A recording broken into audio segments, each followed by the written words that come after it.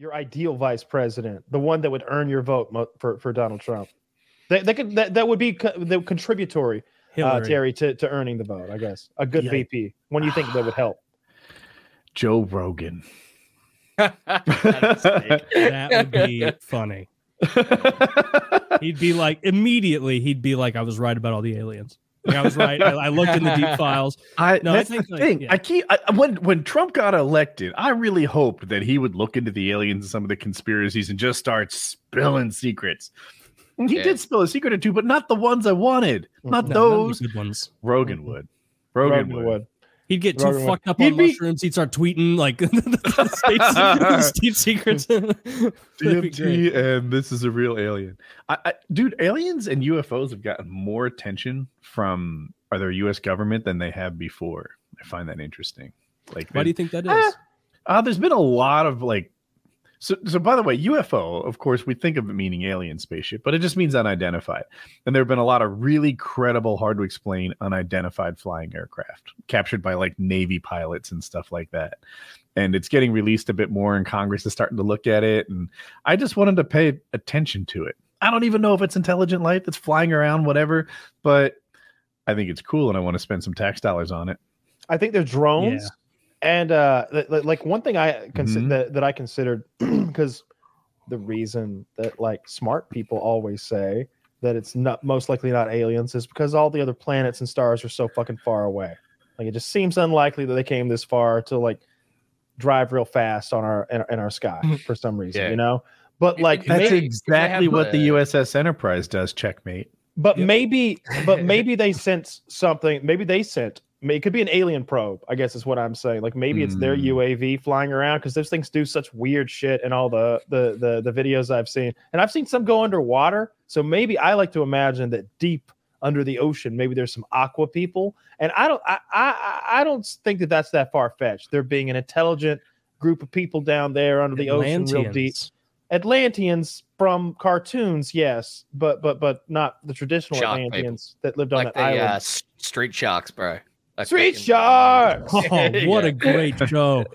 Yeah, that'd be I thought they were so cool. Just rollerblading. They never would bite people though. I hated What the that. I, I I find it hard to believe that like if an alien race came from like billions of light years away, like they have the they have the technology to be able to fucking travel like instantaneously to another uh, another fucking star system that they couldn't have the technology to just not be seen by us. Like Yeah. surely they would be like advanced enough to just be like, yeah, that we don't want these fuckers to And see us. we also like we always assume that whoever shows up is going to be at the stage where they're like hyperdrive space they're almost like pure energy beings like it could Yeah. be you know how all of our movies are like we're sending this to rigel 7 the fifth generation will arrive but everyone Yeah. else will live on this so like it could be that when they show up here it is the inbred lunatics of aliens you know up They're- they're 200 years pilgrims. prior they are not Yeah. sending their best folks Bad They're old rapists, race. murders, and religious Racist. crazy. Yeah. I uh, ah, So they come out of like the uh come out of like the motherfuckers on Alien Resurrection, where there's just like all the all the rapists in their like little fucking religious colony. that's what it would be Well, there's a um, Yeah. remember the of um, handmaid tale people there was a TV series um, where uh, a spaceship came like landed in L.A. Maybe it was hovering, but it's very similar to um, the um, what's the Blomkamp movie um, with the uh, uh, where the where, where you had the the apartheid allegory with the aliens. Um, uh Sector Nine or District something. yeah, Nine? yeah, yes, District like, like Nine, yeah. Sector Nine or whatever. It's kind of like that, but um, they they had like kind of bigger heads, but these were like the slave race as well. So like they didn't really know anything cool. Like, like the, the people who actually knew the cool shit were gone by now. It's Mhm. kind of the same idea, and they're integrating into life in Los Angeles. And of course, they're dealing with like racism, and people are calling them weird slurs because their heads and stuff.